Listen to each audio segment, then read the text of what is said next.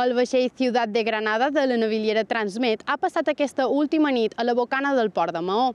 Les sonometries realitzades per la pròpia naviliera han confirmat els resultats obtinguts per l'autoritat portuària, que constataven l'accés de renou. Això sí, l'empresa assegura que sols et sobrepassa per un pocs decibels.